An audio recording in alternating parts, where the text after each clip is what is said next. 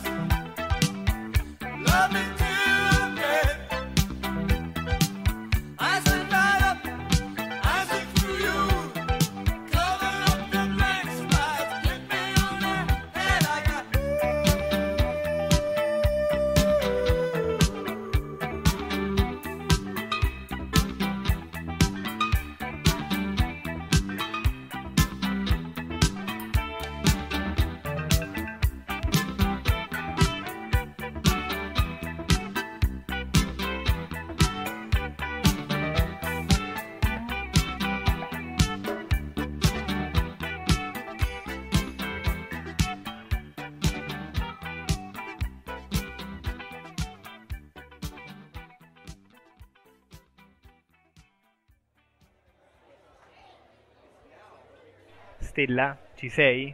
Sì. Come stai? Eh, abbastanza bene. E ci hai fatto ascoltare un brano dei Talking Heads, This Must Be the Place. Uh, Sì. Perché hai scelto questo brano? La canzone inizia con Home is where I want to be, che sarebbe voglio stare a casa. In qualche modo ha a che fare con la quarantena che stai vivendo tu? No, no, no, Mm, niente, niente a che fare con la quarantena, più che altro con eh, me da sempre, questa, questa è la mia canzone da sempre, perché boh, probabilmente perché sto cercando la mia casa nel mondo e ancora non la trovo e non lo so, la sento, la sento un po' mia questa canzone. Ah, ok, quindi casa nel senso di casa che ancora non c'è. Sì, E, esatto. e invece per quanto riguarda la quarantena, il fatto di, di essere rinchiusa in casa, come, come ti, ti fa stare? Ehm, ma inizialmente mm, stavo, stavo bene, sinceramente, perché poi, non so, io mm, sono sempre stata una tipa abbastanza da casa, quindi ero quasi felice di, di poterci stare senza senso di colpa, però poi col tempo è diventata un po', un po' troppo asfissiante, cioè solo il fatto di non poter uscire, anche anche se magari non sarei riuscita, ma proprio il fatto di non poterlo fare metteva un po' di ansia, il fatto di non poter scegliere. E che cosa ti, ti Eh, manca di più? Eh, mi manca, non so, eh, vedere altra gente, facce diverse, altre voci, altri profumi, respirare, non so, l'aria non di casa mia.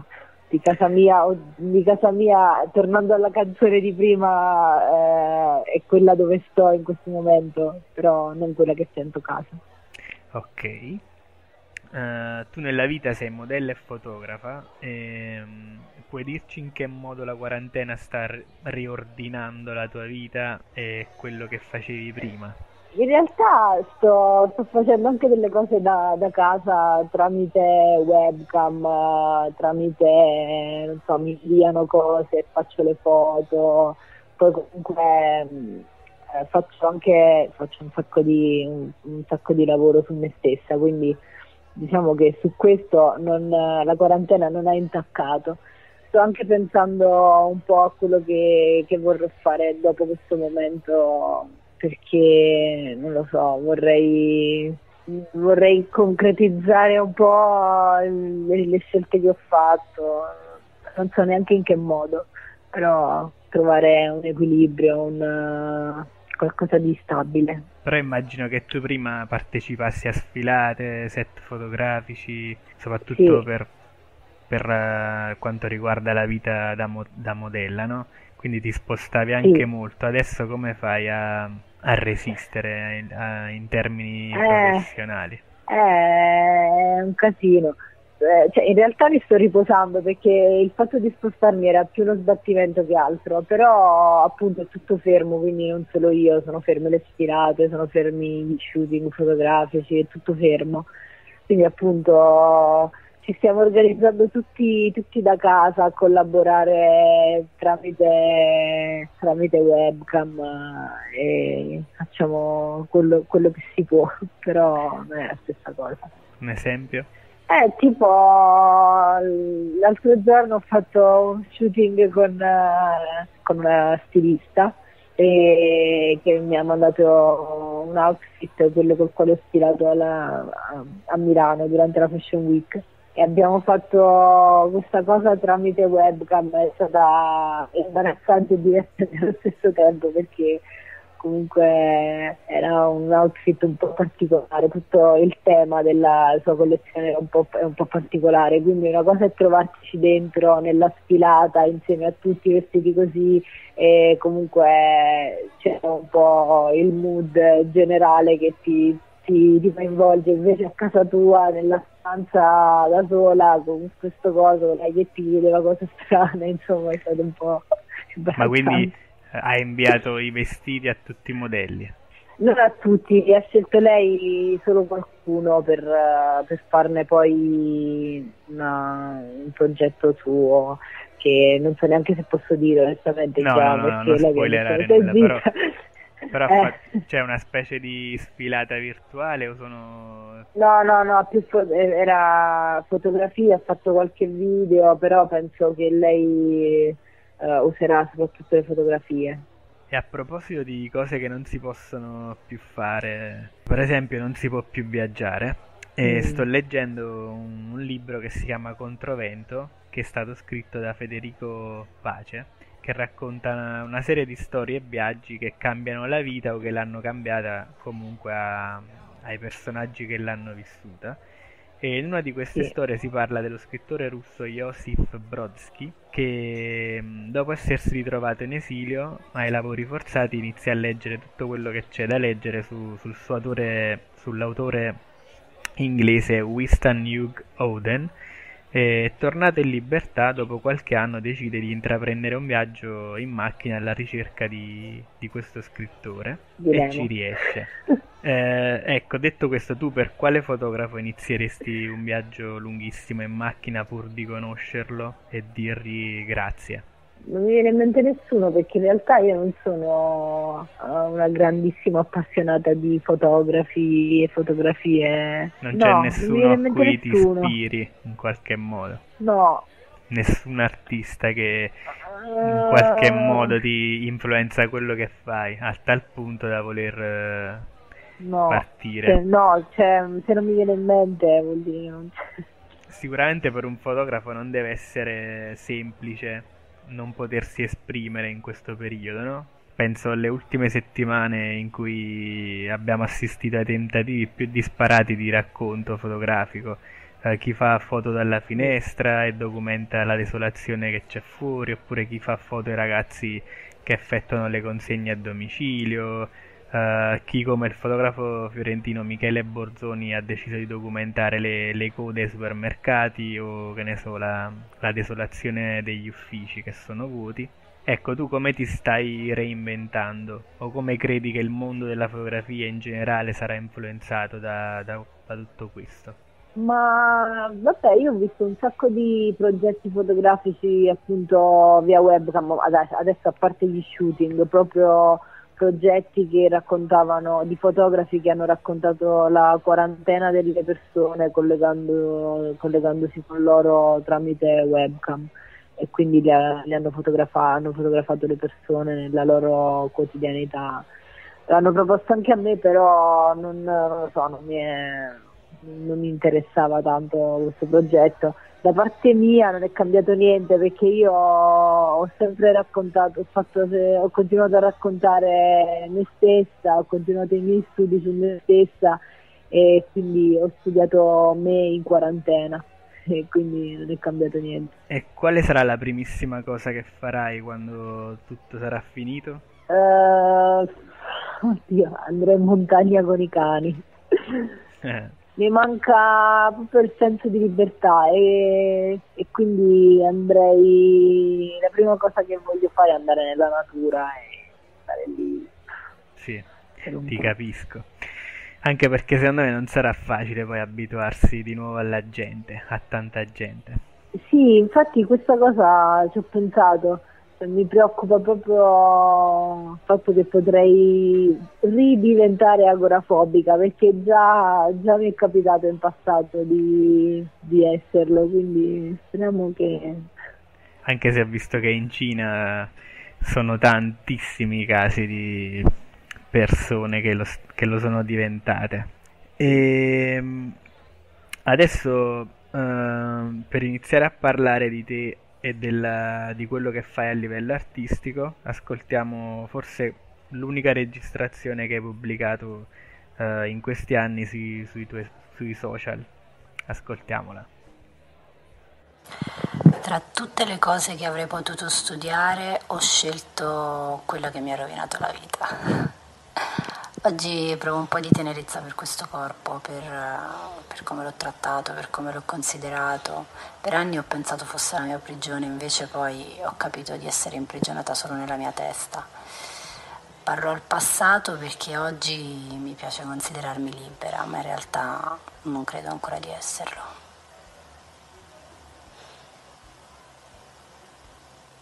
Che cosa intendi quando dici tra tutte le cose che avrei potuto studiare ho scelto quella che mi ha rovinato la vita? È perché ho scelto me stessa, eh, la, il mio corpo, la mia mente e, ed è quello che mi ha rovinato la vita poi.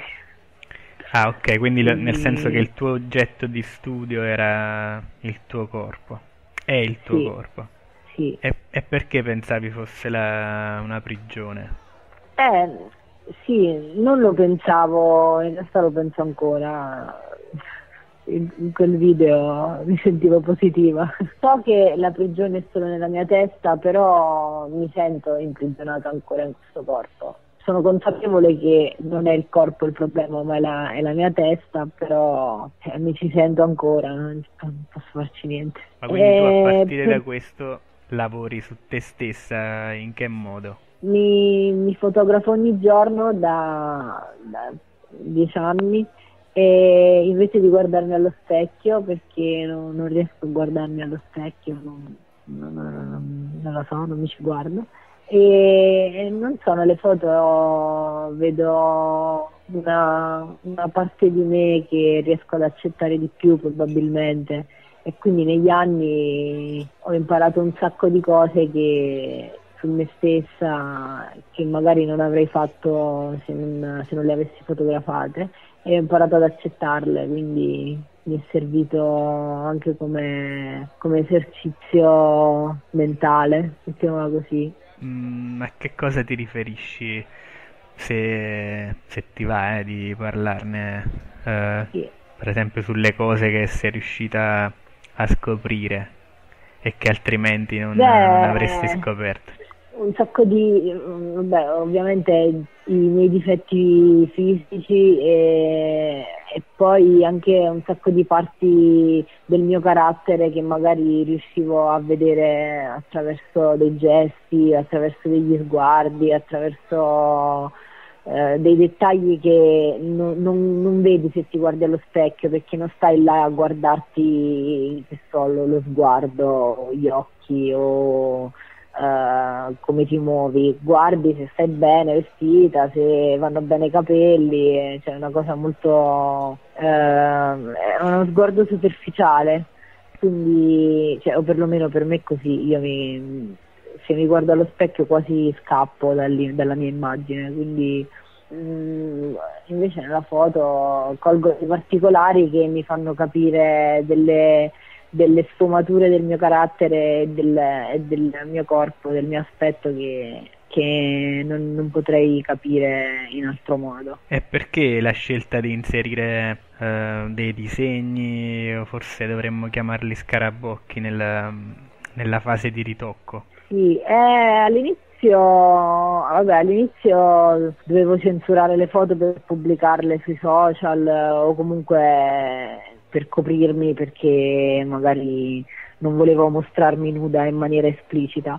Poi eh, ho iniziato proprio a cancellarmi delle parti che magari non, eh, non volevo mostrare o non volevo vedere io stessa, non, eh, perché poi in realtà di quello che, che vede o pensa la gente non è che non è che mi interessi più di tanto, però appunto eh, lo facevo per, eh, cance- per non vedere delle parti di me che magari in quel momento non volevo vedere, non, non ero pronta ad accogliere. Però fungono anche da veicolo estetico, diciamo, no? Ah sì, che... poi, sì, poi è diventato un, eh, sì, un segno distintivo, ah, chiamiamolo così, nel senso che se vedi quella foto lo capisci che, che è mia. E, E il processo perché- qual è? Ma in realtà non c'è un eh, gran pensiero dietro ogni foto, eh, eh, viene tutto così, un po' alla giornata. Mi sveglio, eh, piazzo la macchinetta, mi ci metto davanti, nove scatti e tra quei nove scatti c'è sempre la foto, la foto che mi rappresenta in quel giorno particolare. E poi, poi niente, poi dopo la ritocco, se, se la devo scarabocchiare la, rito- la, la scarabocchio, se non la devo scarabocchiare è già pronta così com'è senza tanta tecnica, eh. È tutto molto come, come dire. Semplice. E ma ti fotografi anche con altre persone, ho visto. Eh, quando lo fai, che cosa cerchi? Ehm, allora, sì, mi è capitato di fotografarmi con altre persone. In genere sono sempre persone mm, mm, importanti nella mia vita o in un periodo della mia vita, quindi non sono mai persone così a caso. Cerco anche me stessa dentro di loro, un po' di me lo cerco sempre.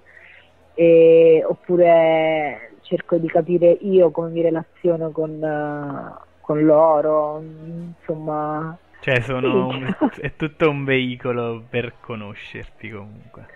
Sì.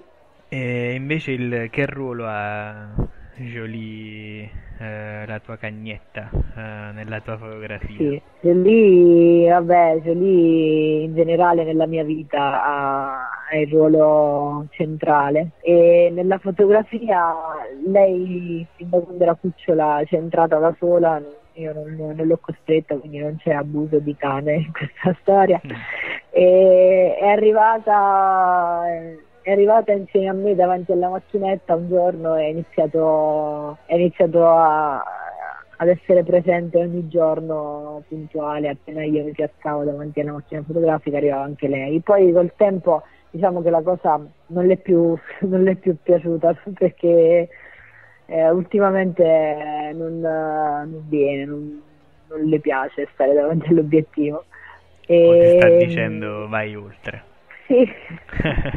Eh, ma tu, tu, per Spacebar e anche in generale sui social che gestisci hai curi una sorta di rubrica in cui inviti i tuoi follower a condividere storie, sfoghi, silenzi ehm, e canzoni per vomitare tutto lo schifo della vita, come hai affermato sì. tu stessa, e tenere per voi la parte più bella, quella più saporita. Ce ne, ce ne puoi parlare un po'? Sì, beh, è stato interessante perché un sacco di persone Um, un sacco di persone hanno risposto a questa cosa e mi hanno scritto tantissime storie, alcune erano forti, altre erano divertenti, insomma eh, la gente è pronta ad aprirsi, a sfogarsi e soprattutto a vomitare lo schifo che, lo schifo perché c'è in tutti quanti, eh, ce l'abbiamo tutti, purtroppo la felicità, la felicità quella, quella che tutti credono, quella che tutti cercano non esiste. E quindi niente, eh, è stato bello vedere come, come hanno risposto e, e, come erano pronti a, a raccontarsi. E soprattutto ho notato che eh, fa, fa, bene, fa, fa, veramente bene parlarne e, ed essere ascoltati e poi se, se, magari so vieni pubblicato quindi eh, leggi la tua storia eh, che viene resa pubblica non so secondo me aumenta un sacco l'autostima delle, delle persone. È bello, interessante nello specifico di, di, che cosa ti hanno parlato? Cioè, ti va di parlare di, di un sì, caso specifico? Eh, sì, mi hanno parlato di, di, violenza domestica, mi hanno parlato di uh, abusi, mi hanno parlato di disturbi alimentari, mi hanno parlato di disturbi mentali in generale, mi hanno parlato Vabbè, poi mi hanno parlato anche di cose belle, tipo, non so, vabbè, d'amore, ne parlano sempre, l'amore è sempre presente. E ehm, poi di delusioni. hanno parlato No, no, no, no, anche di d'amore, gente che crede di aver trovato l'amore vero. ah, okay. Beh, di loro. ma, ma, ti inviano e... pure foto? Sì, eh... mi hanno inviato delle foto, mi hanno inviato dei fumetti, dei disegni, dei quadri, un po' di cose. Ok, una storia in particolare che ti, ha, eh, ti è rimasta a cuore? Ce n'è una? Eh sì, è una ragazza che, che ha, ha subito violenza da parte, del, da parte del suo fidanzato e mi ha inviato delle foto anche del, di lividi. Stato, Insomma, delle, delle, violenze subite. Sì. era carino. E... Tra l'altro in questi giorni eh. chissà quante violenze domestiche sì, ci saranno sì. e che verranno a galla, sì. spero prima o poi. E... Uno dovrebbe sentirsi al sicuro a casa sua, invece alcuni, per alcuni è, è è una prigione, no? Più o meno quello, come quello che hai detto tu. Sì. E... Ci abbiamo verso la fine, sceglierò un brano in base a quello che ci siamo detti. E... Ah sì? E ti intanto ti ringrazio per aver partecipato a questo, a questo podcast. Grazie a te, grazie a te. E in bocca al lupo. Viva il lupo. Ciao, grazie. Ciao. Ciao, ciao. Nas confusas redes do seu pensamento prendem-se obscuras medusas.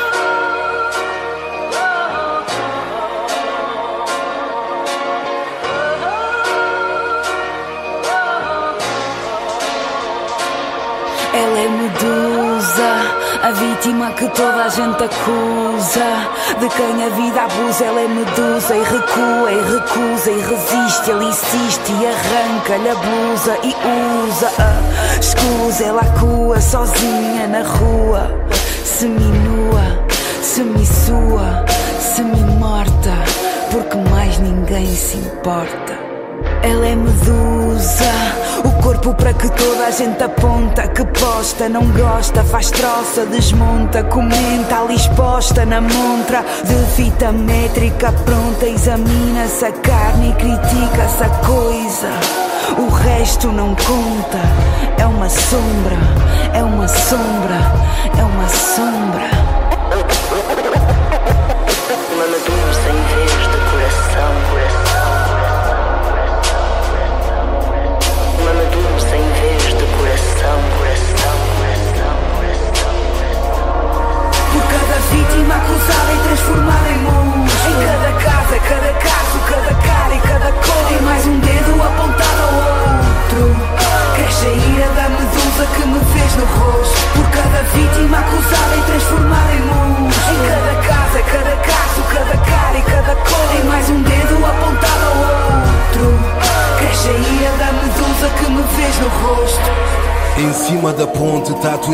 Irmã desaparecida.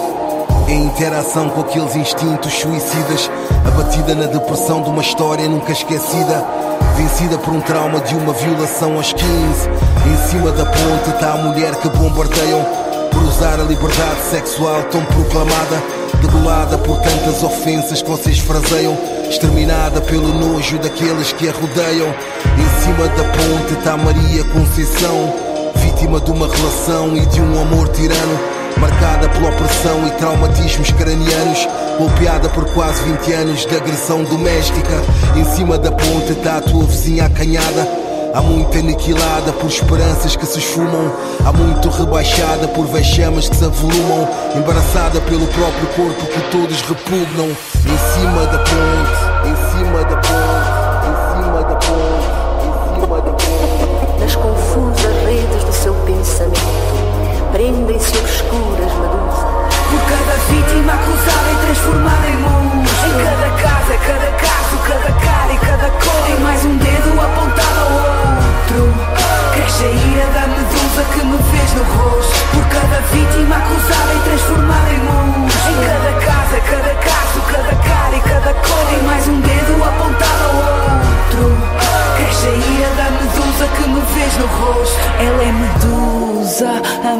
de que toda a gente fala Na rua, na sala de aula e à baila. Vem ela, a cadela, a perdida, sem trela Vadia, cautela com ela que é livre e vive A vida dela, como se atreve aquela?